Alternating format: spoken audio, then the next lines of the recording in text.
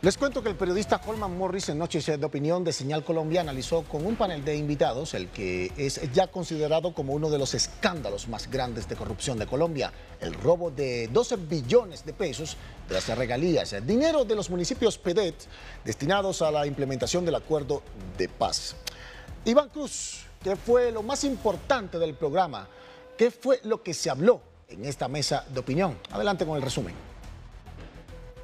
Hola compañeros, cordial saludo. Así es, el exfiscal general de la Nación, Eduardo Montealegre Linet, solicitó que alguien denuncie ante la Comisión de Acusaciones de la Cámara de Representantes al expresidente Iván Duque como máximo responsable del gobierno, donde se perdieron al menos 12 billones de las regalías para los municipios PED, municipios nacidos de la firma del acuerdo de paz con las FARC en el 2016. Veamos.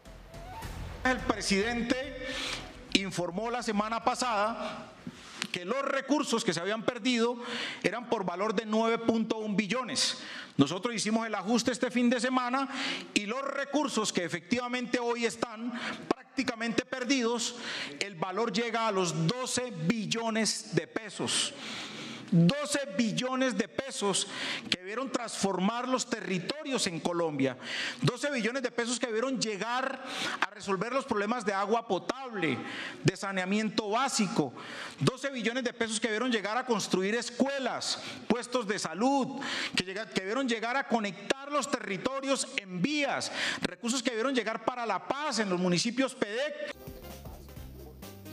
El exfiscal general Eduardo Montealegre Linet, en el programa Noche de Opinión con el periodista Holman Morris, aseguró que el expresidente Iván Duque debe ser denunciado ante la Comisión de Acusaciones de la Cámara de Representantes por el robo de 12 billones de pesos de las regalías de los municipios PEDET, ocurrido durante su gobierno, luego de conocer de cerca la denuncia hecha por el director del Departamento de Planeación Nacional, Alexander López. Lo que tenemos que mirar ahora es también establecer responsabilidades e indiscutiblemente el primer responsable de esta hecatombe de, la paz en Colombia, de frustrar estos proyectos sociales, pues está en cabeza de Iván Duque. de este, este, gran escándalo de corrupción se eh, empieza y termina durante el gobierno de Iván Duque. La responsabilidad implica, empieza por Iván Duque, a quien hay que formularle desde luego una denuncia penal ante la Comisión de Acusaciones para que sea investigado por indignidad política y además por una clara omisión en el ejercicio de sus funciones. Montelegre Linet agregó que hay varios altos funcionarios del gobierno Duque vinculados a este megascándalo de corrupción. Y ahí están comprometidos altos funcionarios de este gobierno, empezando por el director de Planeación Nacional de la época, eh, una persona que de la noche a la mañana se enriqueció. Eh, los medios de comunicación en su momento mostraron todos los lujos al estilo de cualquier mafioso de, un, de ese servidor público que dirigía Planeación Nacional.